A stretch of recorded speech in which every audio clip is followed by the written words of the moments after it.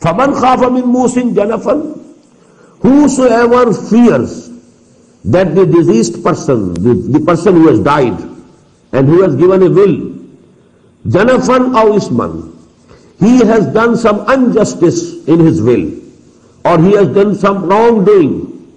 If there is the fear that he has committed a mistake, he shouldn't have done this. It is unjust. The distribution that he has given in his will is not based on justice.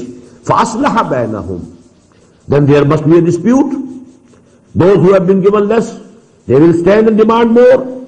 But then if they agree ably, if they change it and they make, make set it the matter right by mutual consultation, فَأَصْلَحَ بَيْنَهُمْ فَلَا إِسْمَ عَلَيْهِ Then there is no sin on them. It is not sacrosanct that whatever the will is, it has to be implemented as such. No. If it is thought that it is unjust, injustice has been done, and then now by mutual agreement, some adjustments are made, so there is no harm in it, and there will be no sin in it. Ya amanu kutiba. Now the other strand, and that is of ibadat. Now saum.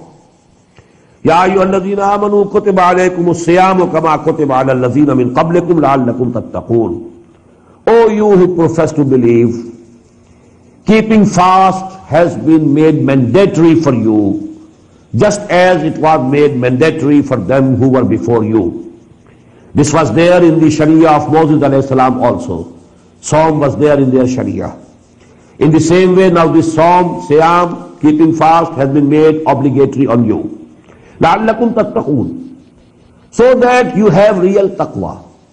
So that you have self-control over your animal instincts. You have full control of your id and libido. Ayyam madudat. As I told you, I think that this, this, these two ayat, they concern the first commandment that was given by Muhammad sallallahu alaihi wasallam to the people after Hijrah, that every Muslim should keep three fasts every month, because the Arabs were not accustomed to fasting. So they were gradually accustomed to it in, in, in a manner that every month, now you see the month could be December when fasting is easy. The month could be July or August or May when the fasting is very difficult. So three days every month, it becomes very easy. Different weathers, different seasons, and only three days.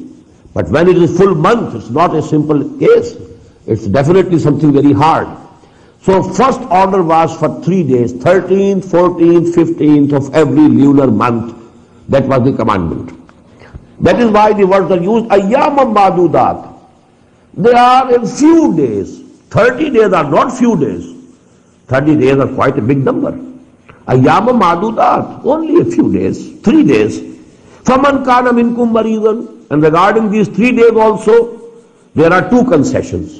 Concession number one, whosoever may be from amongst you ill, sick, or ala suffering, or on some travel, فَعِدَّةٌ مِنْ أَيَّامٍ أُخَرٍ He can complete that number in other days. Three days, he can keep the fast in that month on any other three dates.